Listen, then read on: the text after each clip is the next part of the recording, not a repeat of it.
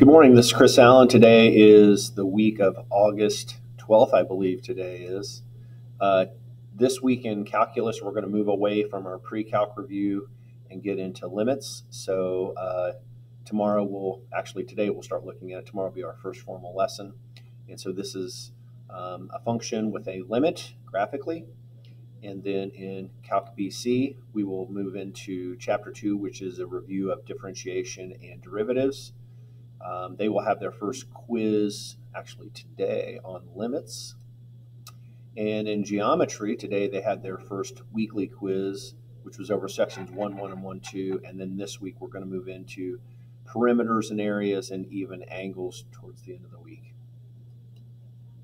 Some final thoughts. I just wanted to thank you, parents, that were able to make it to the back to school night last Thursday. It was really nice to meet you and um, share a little bit of what's going on here in my mindset uh, as we're moving students to get back into the groove of things, um, and, maybe some of us teachers are as well.